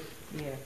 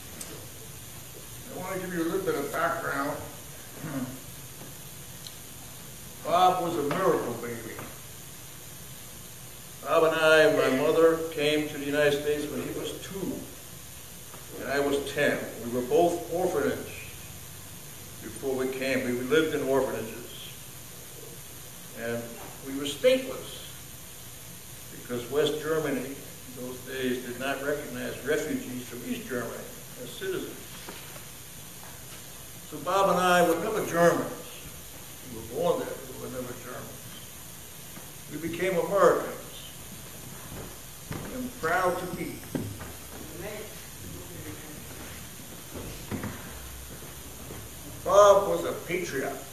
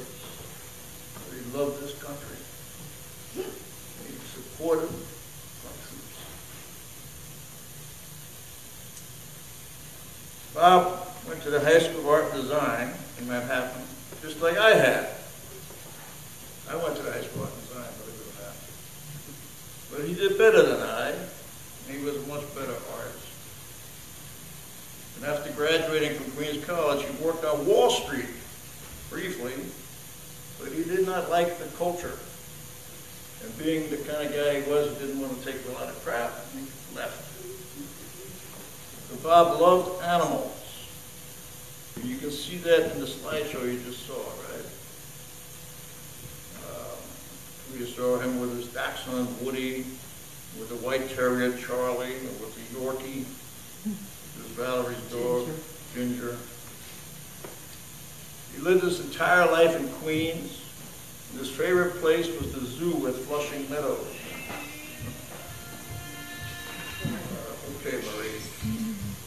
I know you got somebody looking for you. Uh, he asked that this, his ashes be spread at that zoo. And we will be doing that in the spring. Uh, we will carry out that wish. Bob was the director of the Alliance of Queens Artists, which at its height had several hundred members, for about 11 years. And it was a successful organization until the recession of 2008, 2009, when the funding dried up. But um, at AQA, he was also an art teacher, and he helped a lot of kids develop their talents. And After AQA folded, he became an independent artist for the rest of his life. He was blessed with- to be living with his friends, who loved him dearly. That's Lori and Harold O'Brien and their son Harold Jr., as Anthony already mentioned. I want to thank them for their many kindnesses, particularly when he got very ill in his battle with cancer for the last three years. Bob was a wonderful storyteller and knew a lot about history, as Anthony already mentioned, cinema, believe it or not, knew all about cinema, science fiction, politics, philosophy, art. I don't know where the hell he learned all this stuff. But he did. Uh, he knew about New York's museums,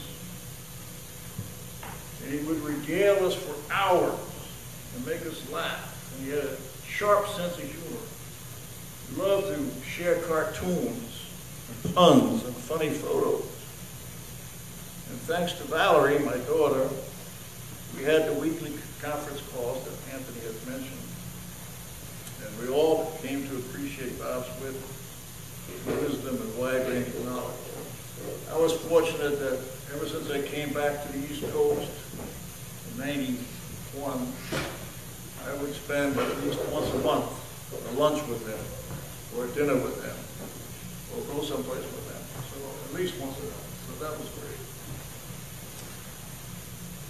Bob's passion for truth are reflected in his art, and you can see in the slideshow sculptures and paintings that cover a wide range of interests, from medieval knights and fierce Indian warriors to centuries nudes and triumphant angels and curious snowmen and hungry bears.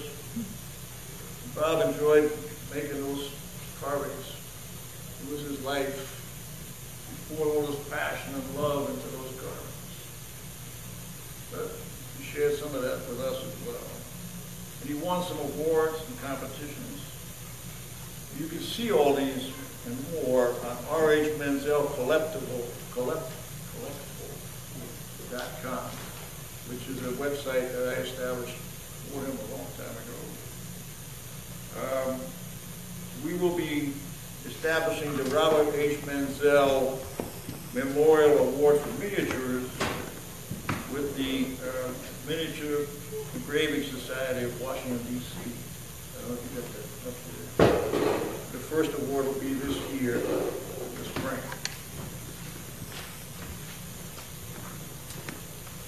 I will end by saying that I like to remember Bob as my baby brother.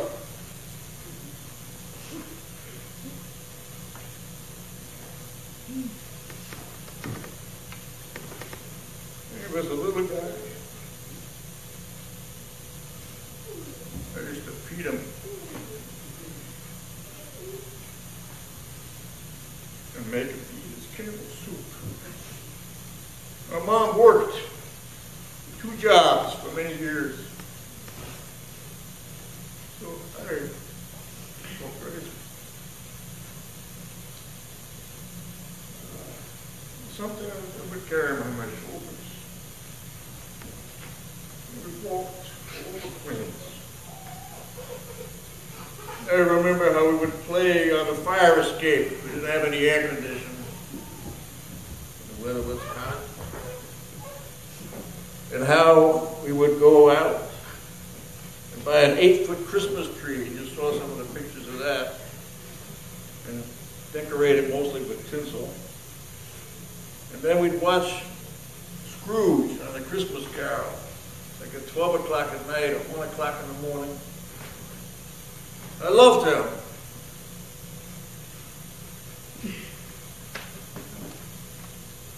I always loved him. And I miss him very much. God bless his memory. God bless you. Thank you for your kindness.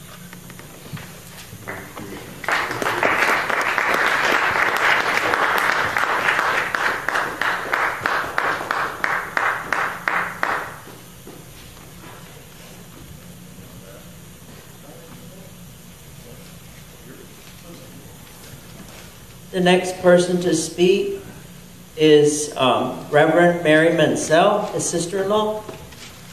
It's okay, porque están en la misma casa. Son esposos.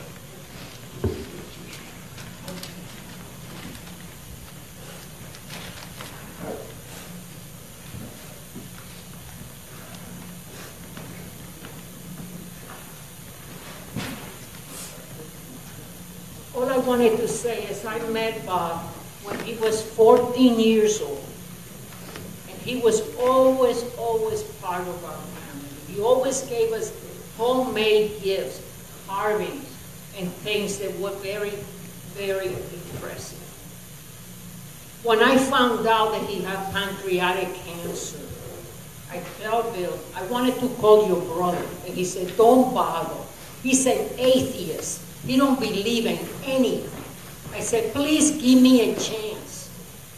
And I spoke to him. And I felt that his heart changed.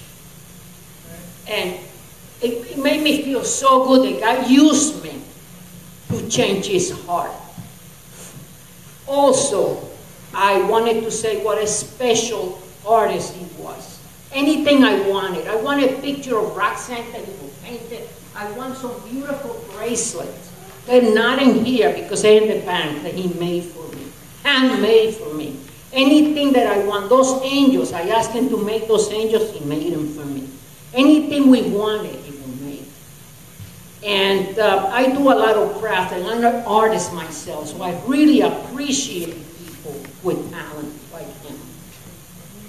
And uh, if you come to my home, in every room of my house, you see something that he created. Because there's so many gifts. We've been married for so many years. And every birthday, every occasion, he carved something for us. And I want to thank God today that he used me for his salvation. I want to thank God that for three and a half years, suffering from pancreatic cancer, he never had pain. And I want to thank God because he's in a better place than we are with Jesus and his mom. And I want to thank God that if we follow him and obey him, we all be together forever. Thank you, Jesus, for my brother and for the opportunity that you gave me to help him with my prayer. Man.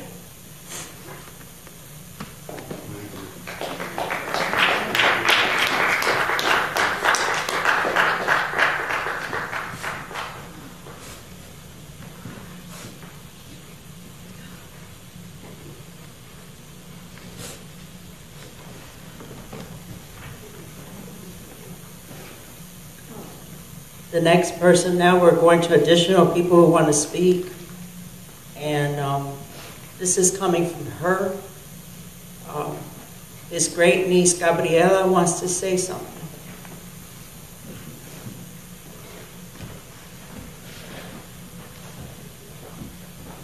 that Uncle Bob was so special to me that he was my favorite uncle. And he made the best things in the whole world. Snowmans, gifts of snowmans. He just made a lot of snowmans. He made a lot of things that were special. He gave them to all of our family. And every time we loved him and had calls with him. And we, I gave him a lot of kisses in the car to say goodbye before we were done.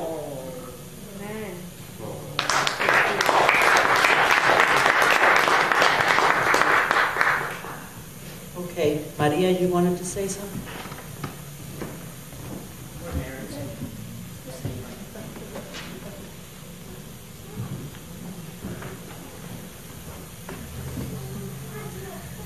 What can said after Pastor's eulogy that spoke so beautifully of his uncle that he really loved, my father-in-law, Bill Menzel, words for his baby brother.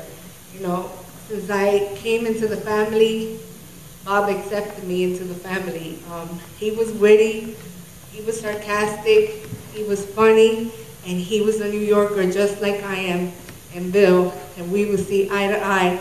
And I liked his wit. He didn't play, he didn't fake, and he wasn't phony, and he wasn't a hypocrite. When he thought, he said it. And he was just a special person that when you spoke to him, you know you were speaking to someone who was very smart, very open, and very caring. And like they, he lived in Queens his whole life, and he loved Queens. I remember going to Connie's. He would usually eat the same meal. He's just like me. When we like one thing, we stick to it. And he would say, they just make it right, and he would like it. And I remember going with him to New York, like our family said. We would go to New York at least once a year since I came, whether it be Rock Center, uh, Burger Place. But one thing that stood with me, that like Mary said, he might have not been a believer for many years, but when he accepted the Lord Jesus Christ, he believed. And in my own trial, he would text me sometimes and say, I'm praying for you, Maria. How are you feeling? And we would stay connected in this group chat where he would send us funny pictures. I don't know where he would find them. And then since I'm kind of similar like him, I would find old pictures of their toys that they play with. And then Bob would start on and send me like, I don't know, like 40 pictures sometimes. And Bill would say, I don't know where he gets the time to send these pictures. But he really loved us. And Bill and Bob never had a dad. And when he met my daughter, Anthony adopted Destiny into his heart as his daughter, he always gave her this kind and lovingness because, you know, maybe he never said it, but he knew what it felt to come from a single mom. And he always treated her so kindly and to, to Gabriela as well. That's why Gabriela came and spoke. No one told Gabriela to do that. She just came in with her heart of hearts that she has. And she says that she's going to be an artist like him. So, but Bob was very special. And the last few weeks, I remember his last few text messages where um, Valerie's younger son was going to a tournament and she was sharing the pictures of the hotel and all the events they were going to go to. And Bob was already really, really, really not doing well. He sent a text and he said, live life to the fullest, guys. You have to live your life.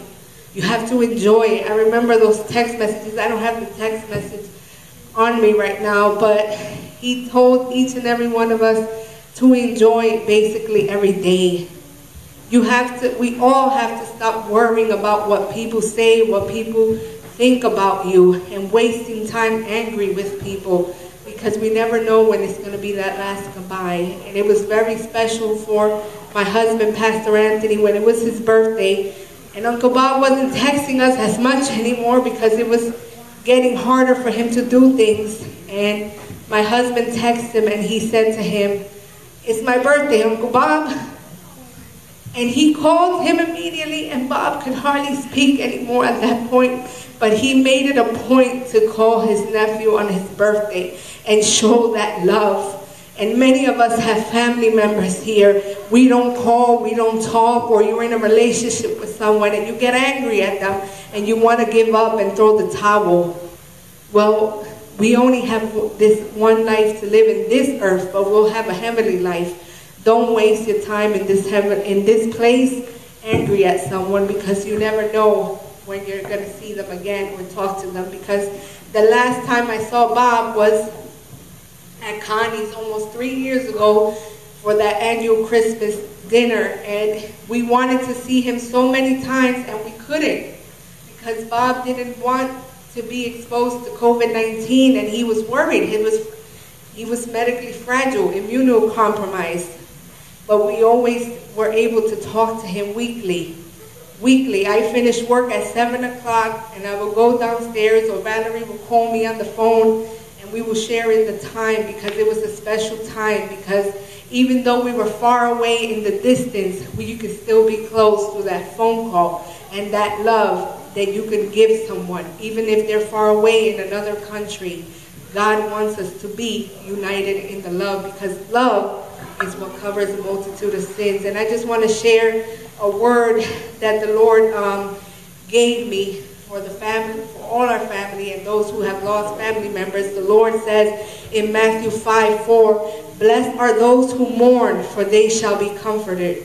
And I know that the Lord Jesus Christ is comforting my family and maybe comforting some of you who have lost loved ones as well because God never leaves us. He's always with us. We just have to draw near to him like James 4 8 tells us. If we draw near to him, he is faithful to draw near to us. And I just want to pour out a blessing to my wonderful father-in-law. That's not just my father-in-law, that's my father right there. I never had a father. This man is a blessing. This man, the way he loves my grand, my kids, the way he plays with Gabriela, he was mourning and he was running all over the house. I was upstairs working virtual and all I heard was footsteps running and I said, that's grandpa playing with Gabriela. He's a wonderful man, my mother-in-law, my sister-in-law, and my husband. And we are very blessed that you could come here and share this time with us in mourning. Thank you and God bless you all.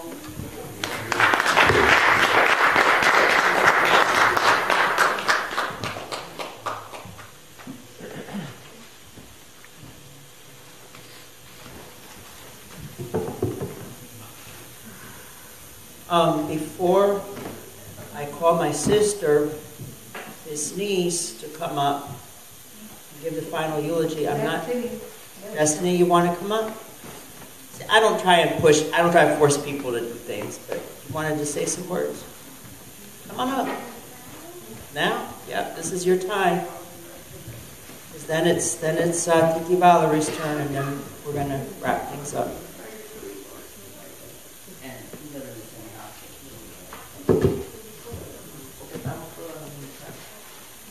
So, I wanted to say a few words to honor Uncle Bob.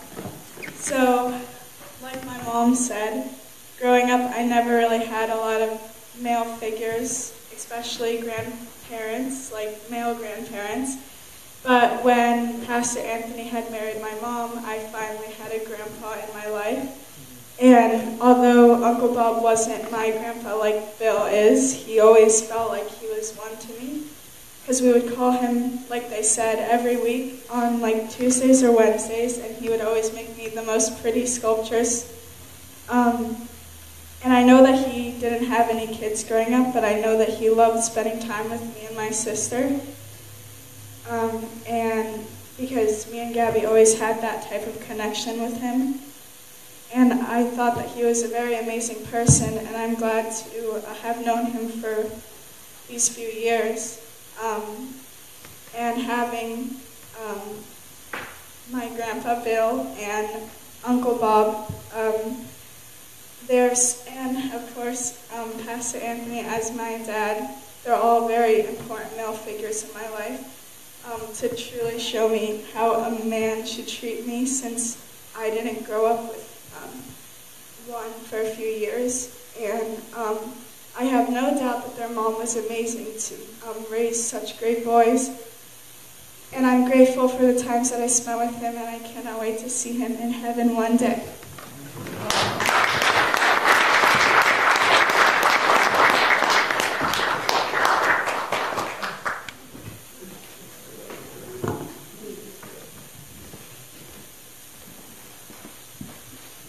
Okay, so my sister, I, I don't know, she is an amazing speaker.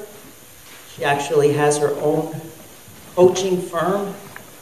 So I'm sure I left her for last because I'm like, I knew, I know she's going to be amazing.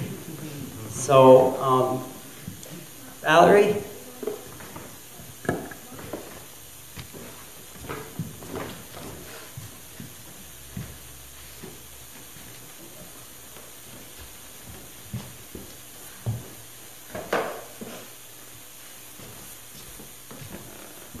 Before I begin my words,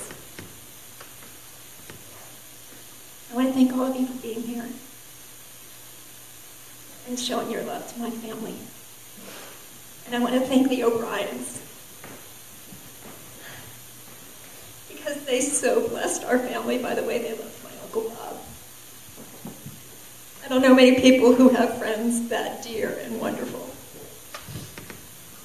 They were so good to him, even to the end. And I want to thank my dad.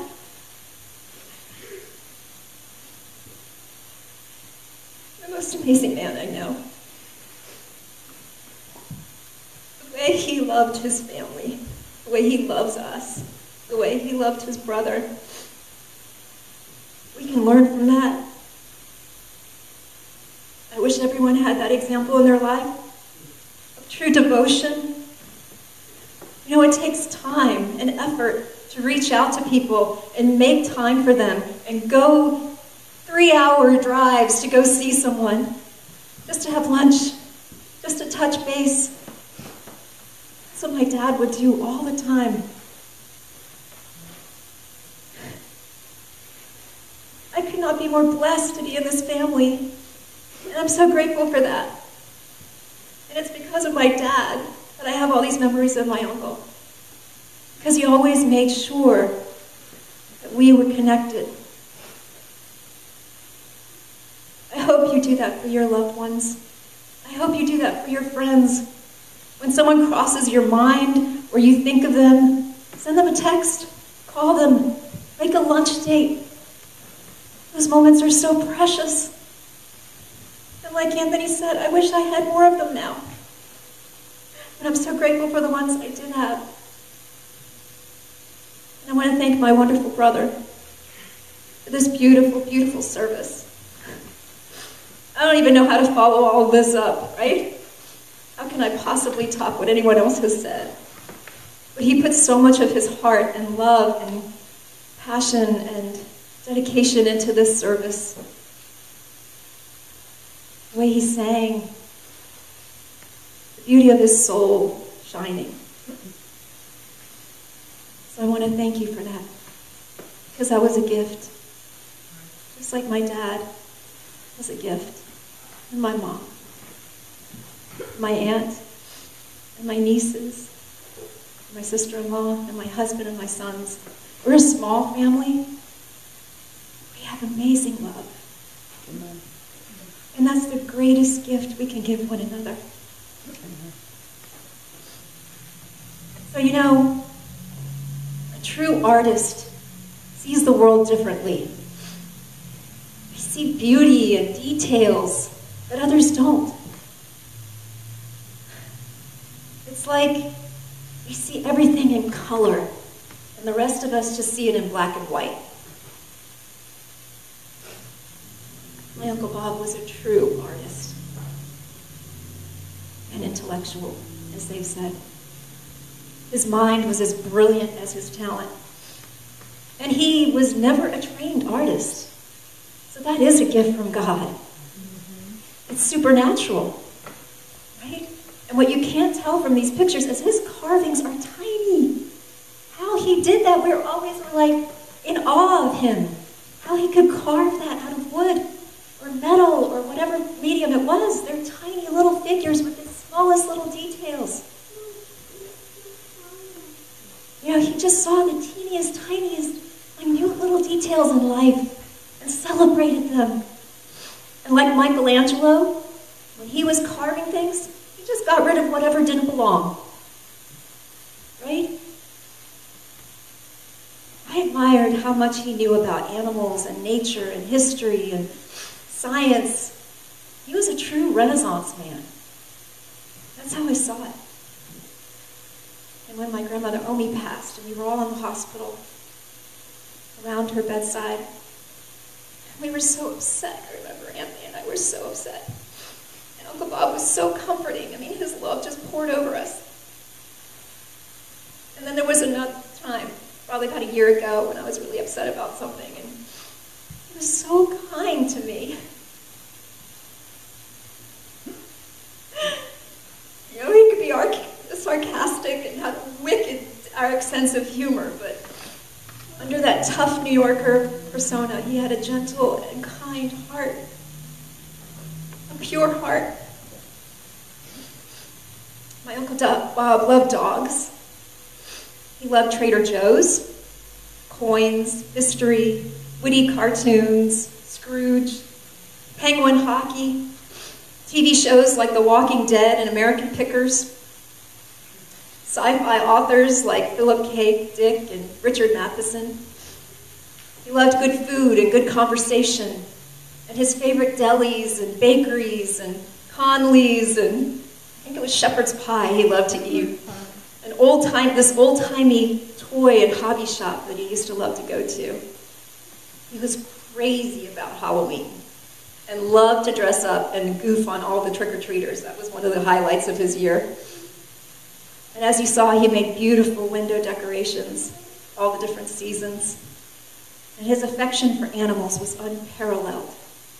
He deeply loved animals, and they loved him right back. I think that speaks volumes about his character. Because animals sense goodness.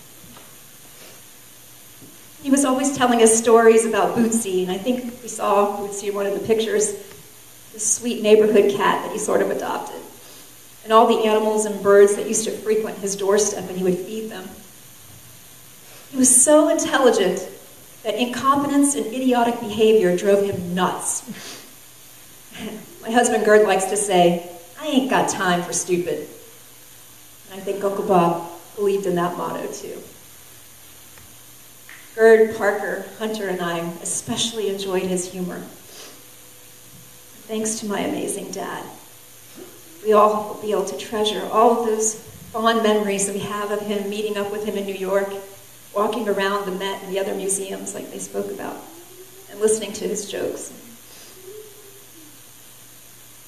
When he got sick, Uncle Bob sent me a Far Side cartoon of a dog fighting this huge heel of a, looked like a dinosaur, but it was actually Godzilla.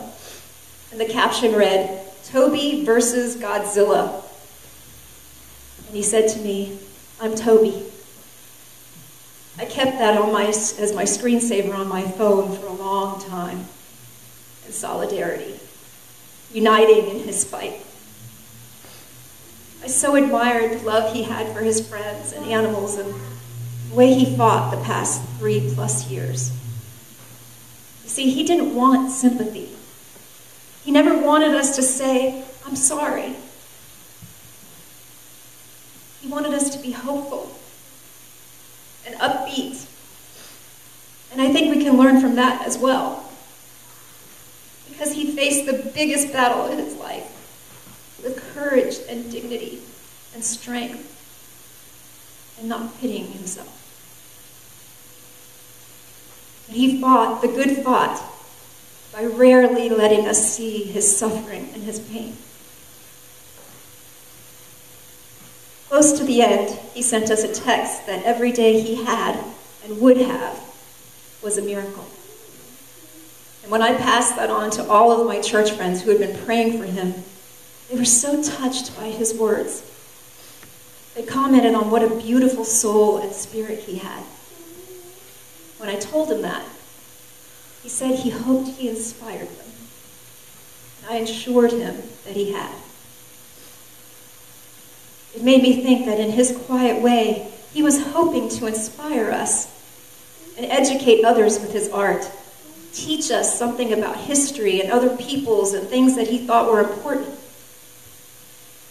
That he was trying to tell us something and share his commentary with the world. I'm so incredibly grateful that we have his statues and paintings and Easter eggs and Christmas ornaments because he left a little piece of his love and his soul with all of us. And the other thing they didn't mention is when he gave you a gift, there was so much thought behind it. He really cared. He gave you a gift that was applicable to you, or a joke he thought of that you thought would work for you, or he was thoughtful in his kindness and in his love.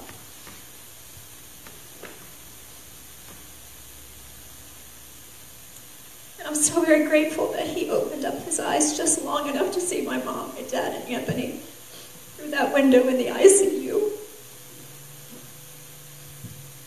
Because I think one of the last things he saw was how much they cared and loved, about, loved him. Would give anything to have been there. I heard the following lyrics on a TV show that would make Uncle Bob roll his eyes. But I thought they were beautiful. Because even though all of us are filled with sadness, it comforts me that he isn't suffering anymore. And I picture how overjoyed he is to be welcomed in the arms of God and reunited with Omi and Woody and Charlie, the, the dogs that he loves so much. So, Uncle Bob, like the words in this song, go in peace, go in kindness, go in love, go in faith. Leave the day, the day behind us. Day is done. Go in grace. Let us go into the dark, not afraid, not alone. Let us hope by some good pleasure safely to arrive at home. Thank you, Uncle Bob, for being so kind to me and Anthony and our families. Thank you for all the laughter and the education and the wisdom. Thank you for letting us get close to you. Thank you for all the beautiful art you gave the world. You know, Pablo Picasso said, Your purpose in life is to find your gift, and your mission in life is to give it away. So you served your mission well, Uncle Bob, and put up a heck of a fight that inspired and amazed us all.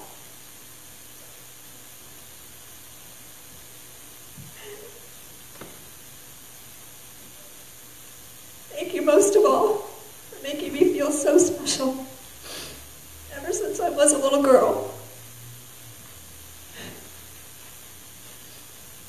You know that feeling when someone loves you so much that you just you're just in awe of it. And they just surround you with it when they're with you. They can't love on you enough. They, their eyes just sparkle and light up. That's what my Uncle Bob did with me.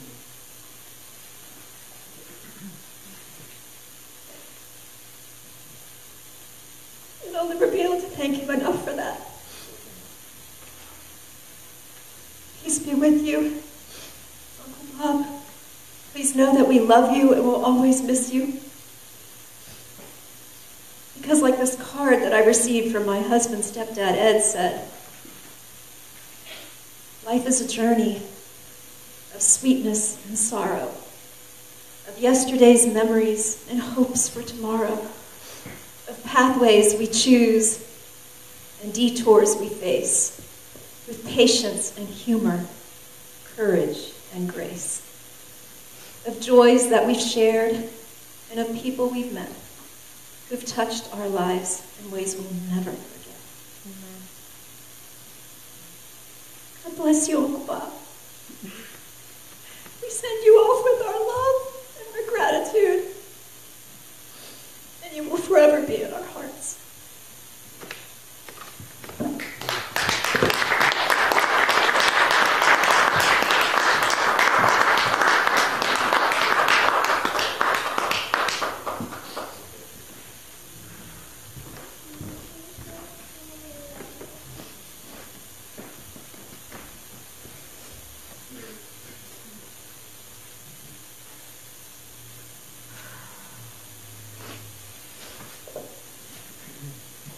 at this point in the service, um, what time is it?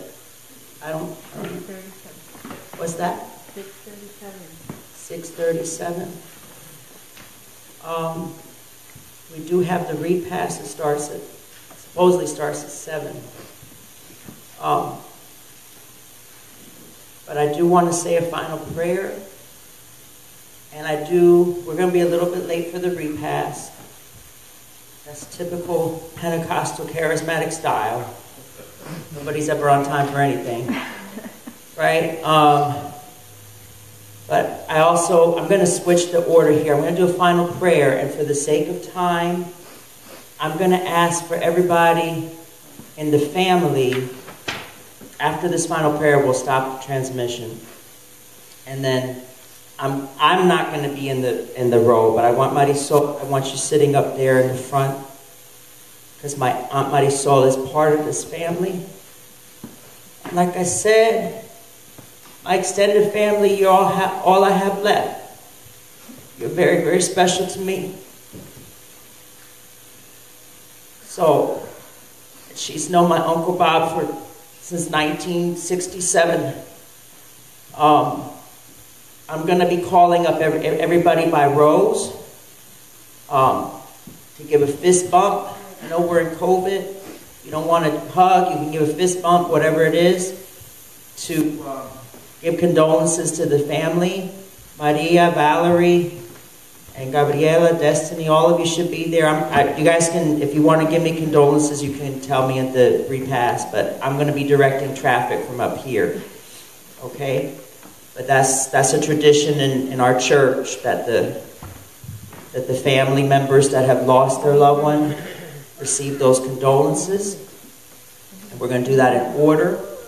So um, I guess you have to turn off the thing. But let, let's say a prayer.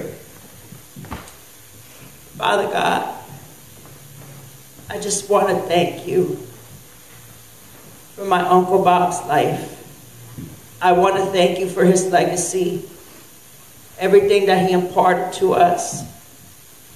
I want to ask you to bless us, to learn all that he taught us, to treasure art and treasure especially his artwork, receive everybody's gifts, show constant love, including to the most vulnerable, like children and animals, and always be people who are in communication with you. In Jesus Christ's name. Amen. Father God, I praise you and I thank you for this time to honor my uncle's memory and to tell him how much we love him. And I thank you for everybody who came today. In Jesus Christ's name I pray. Amen. Thank everybody for being in the transmission as well. You all have a blessed, blessed evening. Amen. You are in the transition, transmission.